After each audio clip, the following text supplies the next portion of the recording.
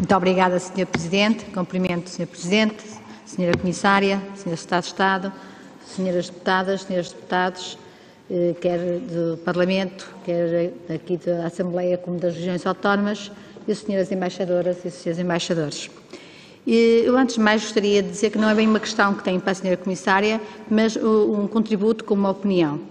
Tem a ver com um tema que, que eu julgo que é muito importante nos tempos que correm, que é a empregabilidade e como nós temos realmente 2023 eleito como o ano europeu das qualificações ou das competências, eu gostaria de realçar aqui principalmente as três ambições eh, que estão no, no, plano de trabalho, sobretudo a economia ao serviço das pessoas, mas também a Europa preparada para a era digital e o Pacto Ecológico Europeu.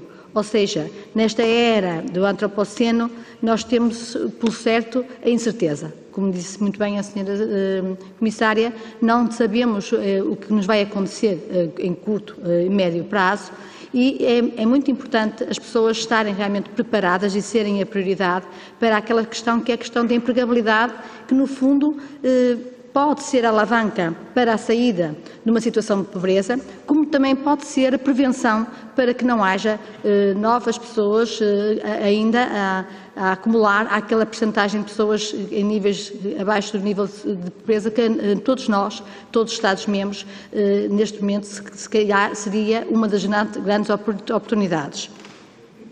Claro que a questão que, que, eu colocaria era, e que não vem no plano de trabalho, que está implícita, mas que não está explícita, é como é que nós vamos trabalhar mais e melhor o pilar europeu dos direitos sociais.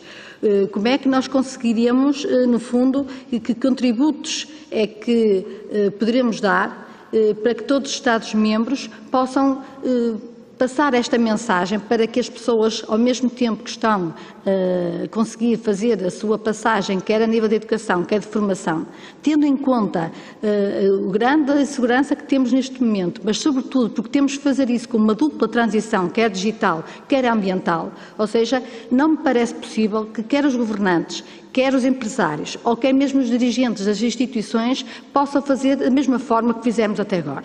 Ou seja, como disse muito bem, os cidadãos têm que estar envolvidos no projeto europeu. E a minha pergunta era que contributo este programa de trabalho tem para que possa motivar governantes, dirigentes e cidadãos a se unirem num esforço conjunto de eficácia coletiva rumo a um futuro que só se faz com todos e com todas. Ou seja, como é que nós vamos fazer todos juntos esta mudança de paradigma a uma velocidade que nós sabemos que cada vez é maior. Muito obrigada.